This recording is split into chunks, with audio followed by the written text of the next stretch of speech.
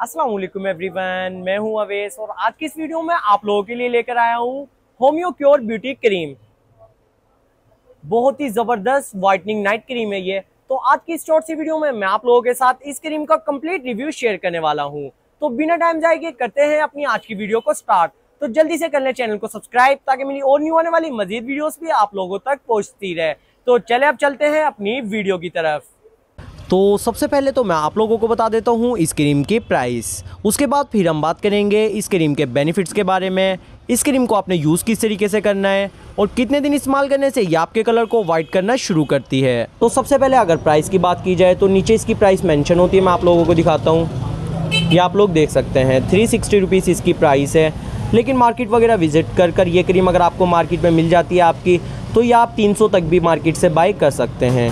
और साथ ही मैं आप लोगों को ये भी बताता चलूँ कि ये क्रीम अगर आपके सिटी में अवेलेबल ना हो तो पूरे पाकिस्तान में कहीं भी आप इसको द्राज वगैरह से ऑनलाइन ऑर्डर कर सकते हैं। द्राज पर यह क्रीम अवेलेबल है। साथ ही एक बार मैं आपको ये क्रीम ओपन कर कर भी दिखा देता हूँ कि अंदर से किस तरह की होती है।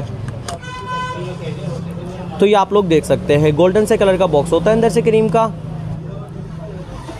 और अगर अब बात की जाए इस क्रीम के बेनिफिट्स के बारे में तो बेनिफिट्स ये सारे यहाँ पर इसके मेंशन किए गए हैं। मैं आपको बता भी देता हूँ कि ये क्रीम आपके कलर को वाइट करने के साथ साथ इस पर मेंशन किया गया है। अगर आपकी स्किन पर एक्नी वगैरह है पिंपल वगैरह है या फिर डार्क स्पॉट्स है तो उसको भी रिमूव करती है। और आप इस क्रीम को वाइटनिंग के लिए फेस के अलावा हैंड एंड फीट पर भी यूज़ कर सकते हैं या फिर अपनी होल बॉडी पर कहीं पर भी इसको यूज़ करना चाहे, कर सकते हैं इसको यूज़ अब साथ ही हम बात कर लेते हैं कि आपने इस क्रीम को किस तरीके से यूज़ करना है। और एक बार मैं आपको ये क्रीम ओपन कर कर भी दिखा देता हूँ कि अंदर से किस कलर की होती है। तो ये आप लोग देख सकते हैं। और साथ ही अगर मैं बात करूँ इस क्रीम की फ्रेगरेंस की तो फ्रेगरेंस भी इस क्रीम की मुझे अच्छी लगी। अब हम बात करते हैं कि आपने इसको किस तरीके से यूज़ करना है।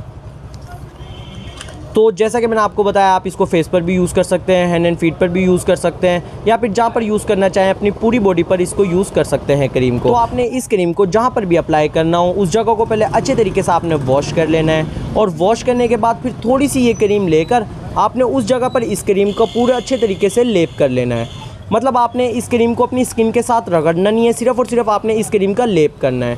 आपने क्रीम को इस तरीके से लगाना है कि क्रीम लगी हुई, आप जहाँ पर भी क्रीम को लगा रहे हो, उस जगह पर क्रीम लगे हुए वाज तौर पर नज़र आए।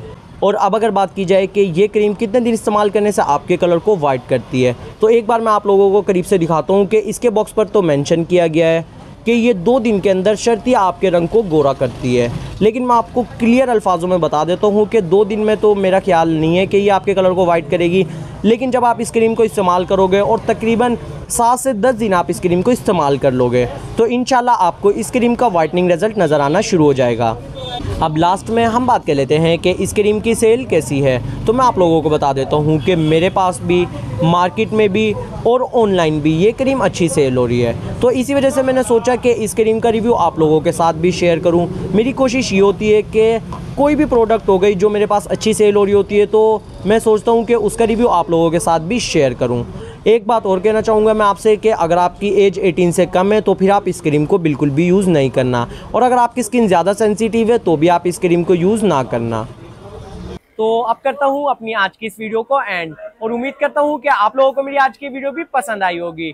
और अगर आप में से भी किसी ने पहले होम्यो क्योर ब्यूटी क्रीम को यूज़ किया है तो नीचे कमेंट बॉक्स में आप लोगों ने ज़रूर बताना है कि आपको इस क्रीम का व्हाइटनिंग रिज़ल्ट कैसा लगा। तो अब मिलते हैं इंशाल्लाह नेक्स्ट वीडियो में। अल्लाह हाफिज।